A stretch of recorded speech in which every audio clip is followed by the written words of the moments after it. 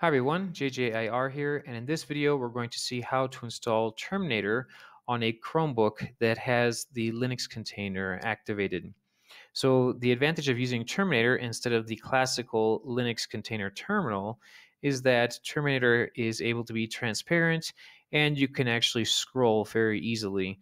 And there's another couple options there that you can also have. So the the idea here is just to add this terminal, the Linux terminal, so we can play around a little bit easier with the things we want to do within the Linux terminal. So the first thing you need to do, obviously, is have Linux installed. And on top of that, if you want to change Debian to Ubuntu, I also have a video on that as well, and I'll put that up in the right-hand corner as a link and down in the description below. So the idea here is presupposing you've already gone through the steps of installing and activating the Linux container and doing whatever you need to do. Now what we're going to do is install Terminator within that terminal. So if we pop up the terminal here, and we can make this even bigger if you want, the only thing we're going to do here is we're going to put sudo apt get install, and then we're going to put Terminator.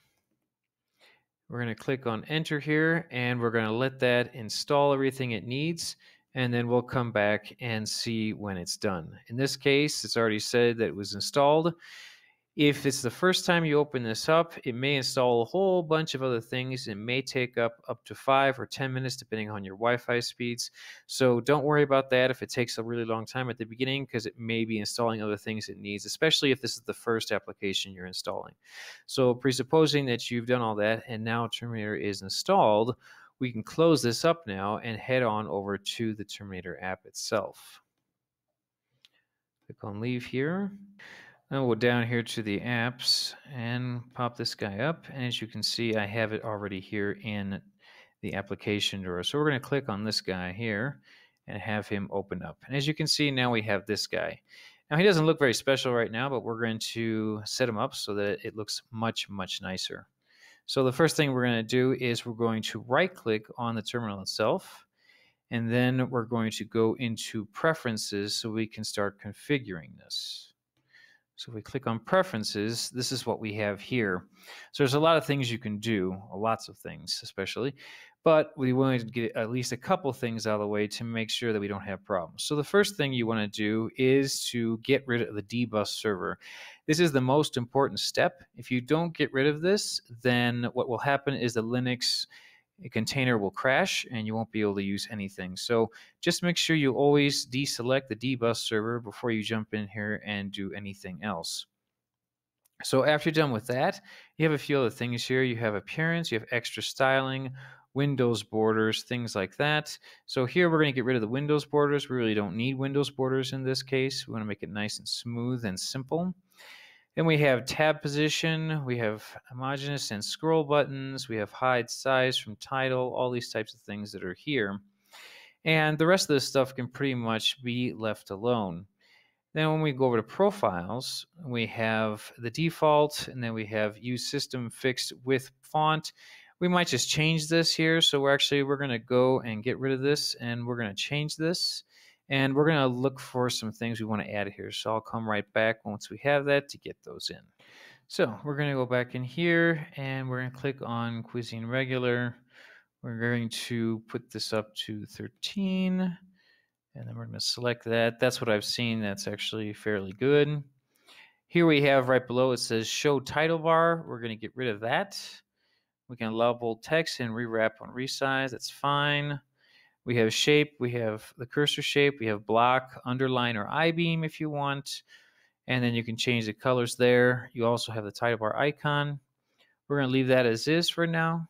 Command, we don't have anything there we need to do right now. Here, we can change this. Usually it was gray on black. If you click on that, click on custom, you can actually change a little bit here. You can make this slightly lighter if you need to. Select that. And then afterwards, we're going to go to background here, and this is what I liked to do the transparent background. And here we'll put this up to like 75.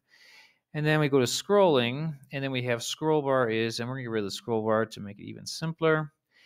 And then if we go back to global, there's one thing I forgot, which is the window state. Usually I want this on maximized.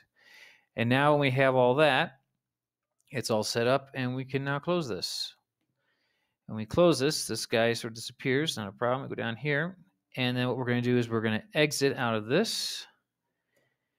And then when we go back in here to open this up, we're going to see that it's going to open up with the format that we wanted. So if we go out here and we put this guy down and then put this guy down over here, put him down. As you can see, we now have a beautiful transparent terminal that we can do everything we want to inside of it. And we can switch back and forth by going through the Alt Tab switching here. But the nice thing here is that I can have this open and actually have something in the background and I can work on this and see what I'm doing here. So let's say I have instructions and on one of the tabs open, then I can go in here and start working on it and it actually turns out really, really nice. And then the other thing is the basically the scrolling here. In classical terminals, you really can't scroll very much. In this one, it already it's already on and you can take advantage of it. So these are a couple things that I found that have been very advantageous for my work here on the Chromebooks while I'm programming. And I hope this also helps you guys. So if you have any questions or comments about this, please leave those in the comment section below the video, and I'll be more than happy to respond to them. Otherwise, if there's anything else, we'll keep in touch, and you guys let me know.